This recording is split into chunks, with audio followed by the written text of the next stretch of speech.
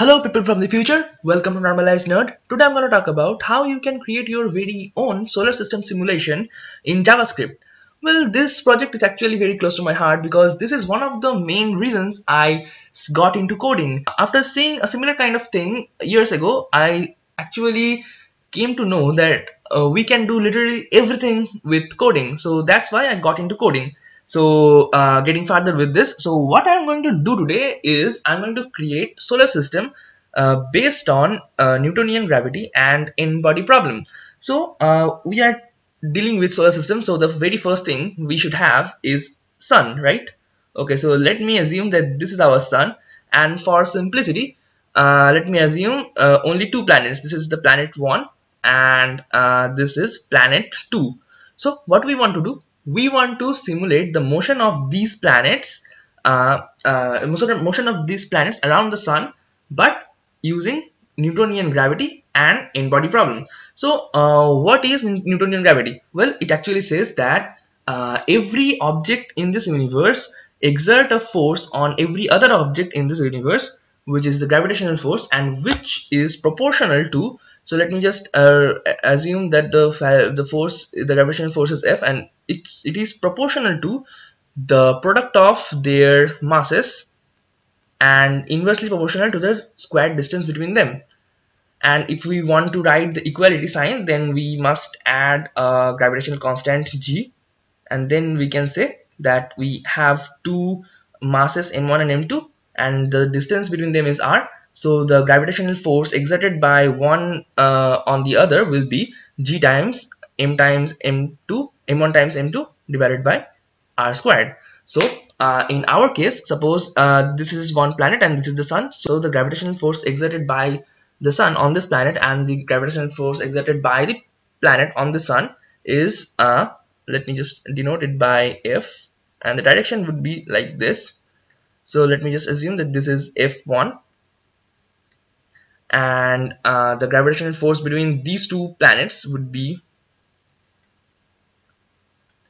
F2 so now what we are going to do uh, now we are also assuming that initially the speed of this planet was uh, something like that in this direction.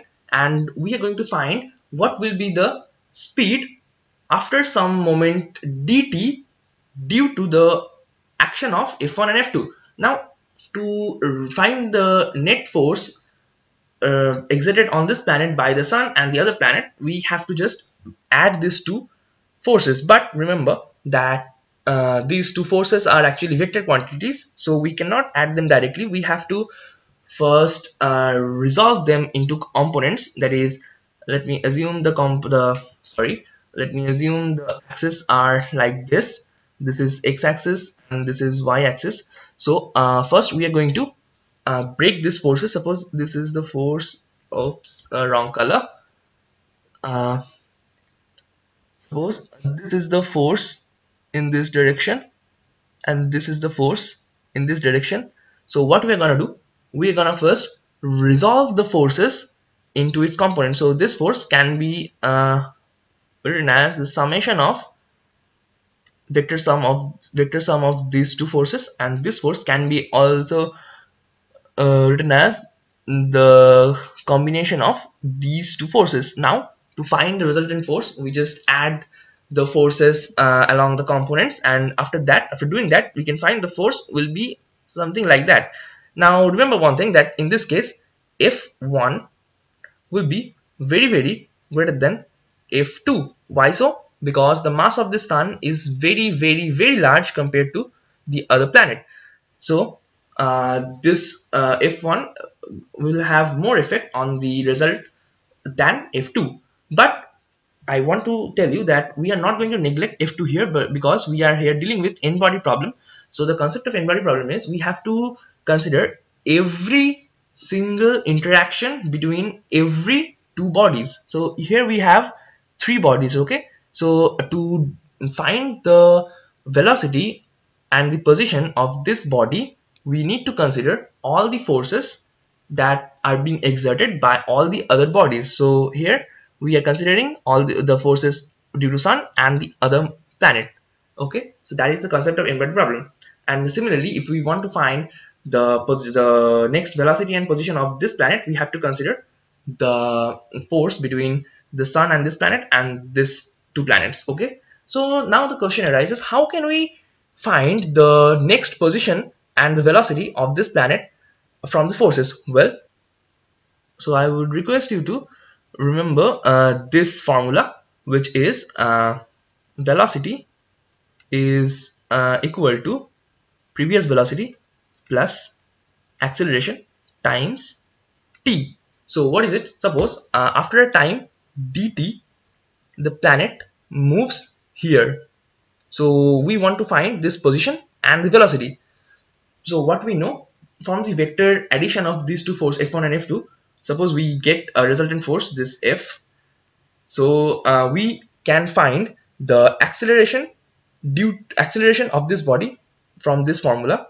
Acceleration is equal to F by m well uh, m is this just the mass of this body. So from this we can find a and by uh, replacing t with dt and then by adding the previous velocity we can find the velocity at this point and it will be something like that. And again we are going to perform the same steps which are to find the force exerted by the sun on this body and this body on this body.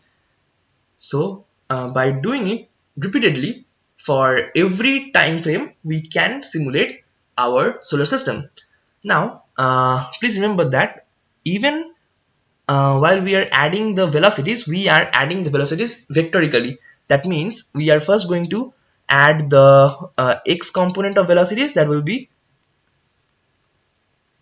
and uh, here will be the x component of uh, acceleration times dt. And to similarly find the y component we are going to use this formula. And remember please remember that ux and uy are just the previous velocities. So we need to keep track of this also. And by doing and by doing this you can see that we can simulate the path of every body in the system. Now theoretically you can put as many number of planets as you want. But uh, remember that that we are we are calculating interaction between every two pair of every pair of bodies. So that's why the time complexity increases very fast. Well uh, theoretically we can uh, very easily say that the time complexity of calculating the motions is O(n) squared. Why? Because you are calculating the interaction between every pair of bodies. So I recommend you to uh, run this program with less than 10 bodies that will work just fine. In our case for simplicity we are just going to use three bodies the sun or three or four bodies the sun and some planets. All right? Well another thing i forgot to mention is that uh, we need to find the angles also because to resolve the vectors into its component we obviously need the angles. So to find the angles between the x component and the force or the y component and the force we have to use some trigonometry. So let me show you how you can use this. Suppose uh, we have two bodies here. Two bodies here. And the this the position of this its center is x1 comma y1 and its center position is x2 comma y2 and the force gravitational force acting between them is along this line the connecting the center line the, the line which connect the centers. So we want to find the vector resolutions of this force. Oops.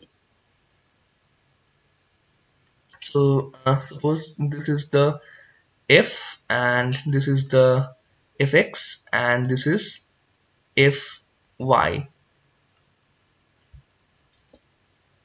the component of the forces along the axis. So what we want to find is this angle right? Because by uh, knowing this angle we can actually resolve this force F into its components.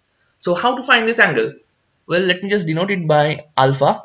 So to find this angle we are going to use some trigonometry some really basic trigonometry. What are these?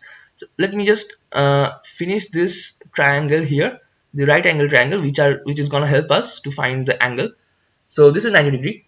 And so this what is the value of this thing? This is just x2 minus x1 and this side is just y2 minus y1 so to find the alpha we can easily calculate it as alpha is equal to